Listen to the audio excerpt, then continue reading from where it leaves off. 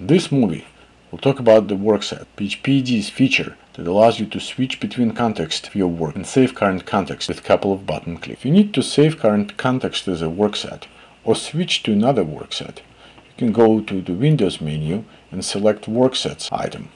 Here you'll see the list of worksets previously saved.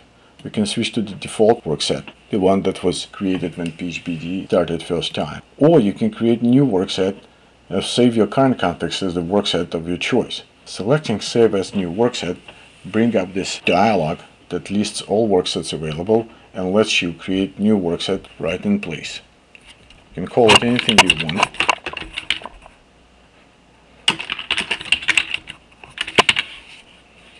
And close the dialog which will automatically set the workset.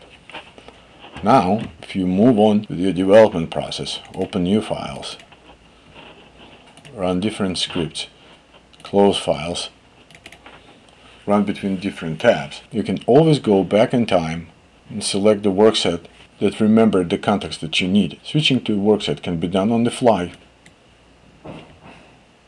and immediately PhpED moves around the windows, closes or opens tabs as you need them and brings you back in time every time when you need it.